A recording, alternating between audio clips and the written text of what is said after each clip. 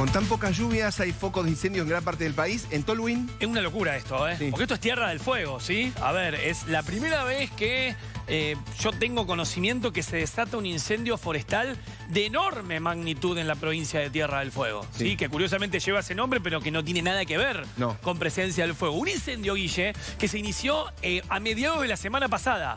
Estos son los incendios forestales muy difíciles de combatir, ¿sí? Porque están en una zona muy boscosa, de hecho está en la reserva Corazón de la isla, ¿sí? Que es una reserva muy boscosa. Esta es una zona con mucha precipitación a lo largo del año, mucho viento y que realmente eh, ahora está, en compli- está complicado. Totalmente. se encendió cerca del lago Fagnano, al norte del lago Fagnano, Sí. 50 kilómetros de Tolwyn. ¿Todo seco? Está seco, porque a ver, el invierno llovió y nevó muchísimo menos. De hecho, cada vez que mostramos ahora la, la camarita de Ushuaia, es difícil encontrar nieve en la montaña. Y eso es raro, porque hasta en enero nieva. Eso porque precipitó poco. Y encima, Guille, todo noviembre fue, entre comillas, vamos a decir así, cálido. Sí. Porque tuvo máximas de 18, 19 grados, que no son tan comunes para noviembre. Bueno. Y eso, esto es el- el- la situación. No es el único foco de incendio, hay otros. Eh, pasa que este está bastante bravo, muy, este, muy extendido. ¿Cuánto está afectando, Matute? Está afectando y ya afectó más de 2.000 hectáreas, que es mucho, y está activo todavía. Mira, yo te voy a subir acá. Estas son las ráfagas de viento, Bueno. ¿sí? estimadas, mira, me vas a, a ir más para la tarde de hoy, que es el momento donde acá está el incendio.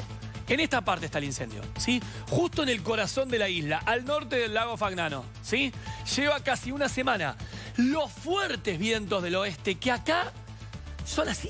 Del Está oeste, el del tiempo, sudoeste, sí, sí. del sudoeste, del oeste. Y en finales de primavera, verano es más ventoso que inclusive el invierno.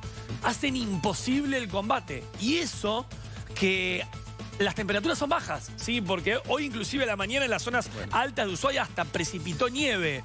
Pero llueve poco y nada, Guille, en estos lugares. Y estos incendios, lamentablemente, son los de que te lo apaga la naturaleza. Sí. Porque es No muy otra. difícil combatir esta región. Tenemos imágenes de otros incendios. Sí. Si uno eh, sobrevuela Argentina, da lástima.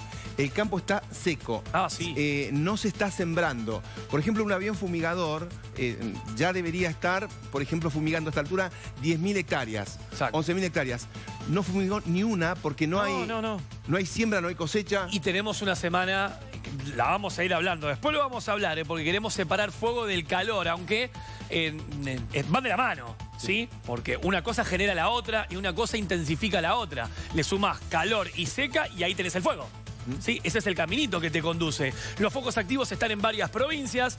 Está la zona del Delta, tanto en la provincia de Corrientes como en la provincia de Entre Ríos. Varios fueron controlados de Córdoba. Córdoba se estuvo, estuvo complicado el fin de semana, ¿eh? En la zona de Sierras, a- ayer cerca de Los Espinillos, el sábado cerca de Alta Gracia. Son puntuales, se logran controlar, pero hay que tener cuidado. Porque cuando vos tenés uno, tenés otro, tenés otro, y se vienen días que Córdoba va a tener 40 grados durante tres o cuatro días de esta semana con viento norte y sin lluvias. Y ahí empiezan los problemas. El noroeste ni que hablar, eh. cuidado las provincias del noroeste, las zonas bajas obviamente, porque también vamos a tener máximas muy altas. ¿Lluvias para cuándo? ¿Qué querés que te diga? El fin de semana recién. Lo de la semana puede ser muy puntual. Recién se ve un frente que pueda generar lluvias de esas que se necesitan el fin de Bueno, semana. y atención, eh, eh, con 9 millones menos de toneladas de trigo va a aumentar el pan. Con eh, millones de toneladas menos de maíz va a faltar alcohol. El, alcohol lo sacan del, maíz. Eh, se, perdió, se perdió cebada.